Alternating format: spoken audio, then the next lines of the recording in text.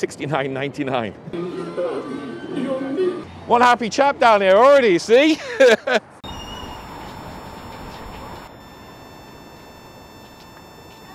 Hello and welcome to Niagara Falls here in Canada and on today's video I'm going to be telling you exactly what is open right now in Niagara Falls even though we're currently under a red zone, uh, whatever that is, a red zone area is issued by the government of Ontario but I'm going to tell you exactly what is open and I think you're going to be surprised what is actually open and what still isn't. So join me on today's video because that's exactly what we're going to do is find out what's open here in Niagara Falls.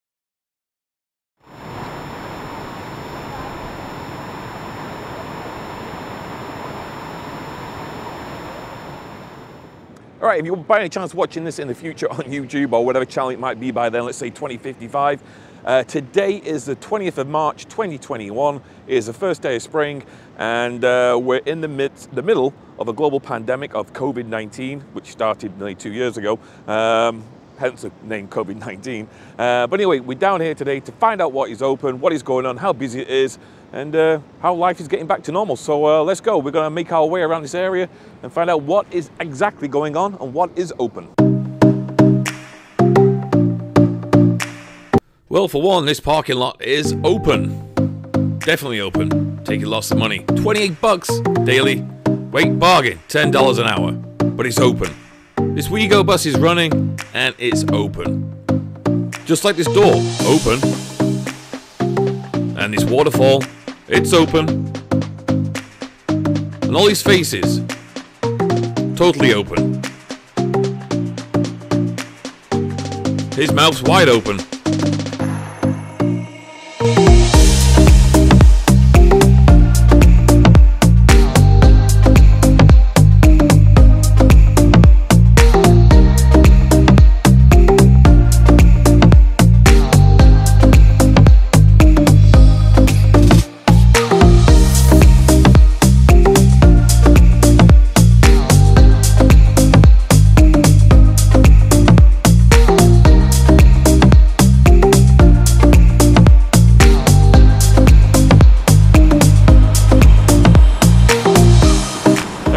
Pot of gold at the end of that rainbow.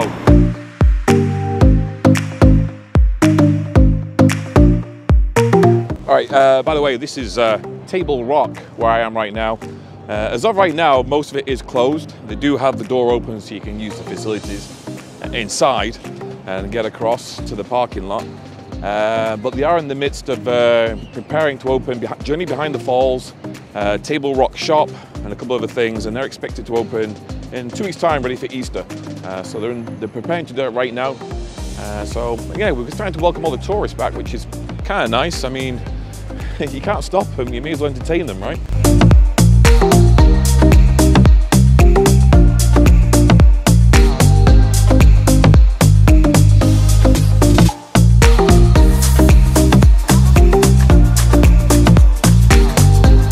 You've always got to point the camera at the dog, always.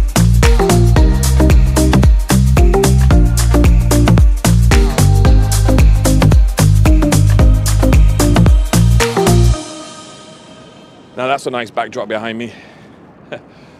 uh, the US Falls, right there. All right, uh, we walked a bit further down from Table Rock now. I'm going to show you something that's open, which is uh, quite surprising me. But before I show you what is actually open right now, I just want to remind you of something. So as we walk down there, I'm going to put up this uh, information, which is on the uh, Niagara Falls Tourism website. It's also on Niagara Parks website. So I'm going to put that up as we walk down here.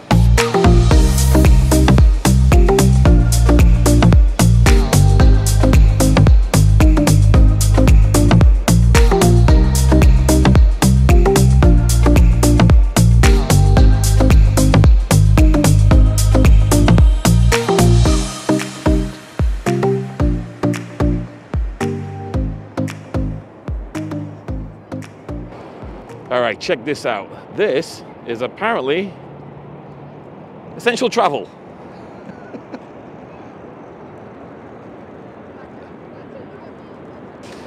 I kid you not. Zip lining is open at a time of essential travel. Unfreaking believable. Once again, the massive hypocrisy of our Canadian and Ontario government, especially, and the Ontario agencies uh, that allow this to happen. So many businesses are struggling right now. Businesses, livelihoods are at stake, but yet silly things like this have now been randomly just been allowed to open. Yet they still have advisories out telling people not to do certain things. Very confusing. I think I just saw on the uh, screen in there, you want a zip line, $69.99. $70. 30 seconds of fun. No thanks.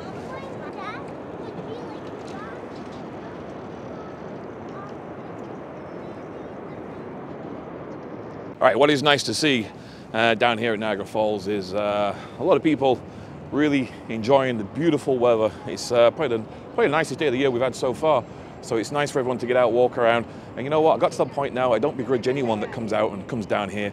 Uh, if the government continuously wants to contradict itself and make stupid up rule, make stupid rules up, then you know what? We can't blame any of these people for coming down here. But what we could do is try and keep reminding them, just try and be safe. Uh, when you're out and about, just stick one of them on when you're next to people, especially walking through the big crowds. Not open, by the way, not open. Check out the world famous Clifton Hill on this beautiful spring day.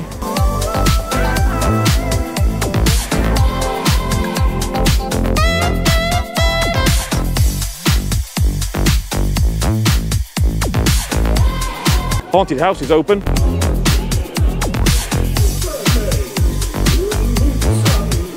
Maze Mirrors, open.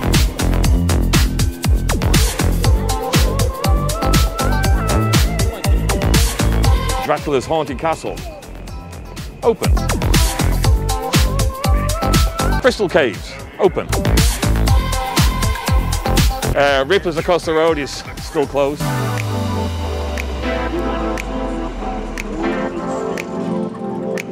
Frankenstein, open. All right, as you can see, uh, Kelsey's is still closed. Uh, the Skywheel's closed, along with the Speedway. So a lot of things are still closed around here. Uh, some of the restaurants are open, but not all of them. Uh, but if you're gonna come down and you are hungry, there's other places in Niagara Falls you can check out, you know, not just everything here on the main strip. If you go up the road, I'm gonna take you up there in a very, in a couple of seconds when I get my ride. Uh, but you go to Lundy's Lane, there's plenty of restaurants up on Lundy's Lane as well, which is literally, from where I am right here, it's like a 10 minute walk. Uh, or you can take the WeGo bus, it'll take you over there. But there's plenty of restaurants up there, all different types, like a two or three kilometer stretch of road there, and just pick something which is not right in the tourist trap.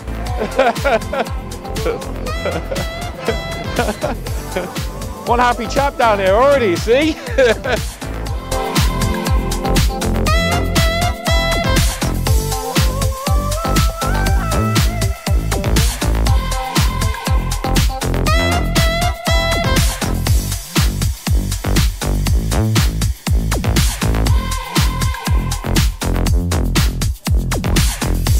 right, as you drive up uh, Lundy's Lane, there's a lot of restaurants up here.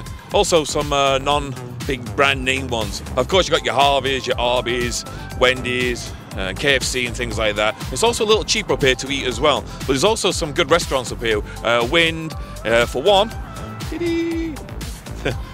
Great place. I like Wind uh, for sushi and stuff like that. But there's loads of uh, local restaurants along Lundy's Lane. As you drive up here, it's well worth coming up this way. Support the local economy down here. Don't put all your money in the tourist area down there in Niagara Falls and the main part. There's a lot to see and do as you go further out of the main waterfall area. So check out Lundy's Lane for one and all the surrounding areas. And you know what? You'll save yourself a bit of money and get a nice bit of food too.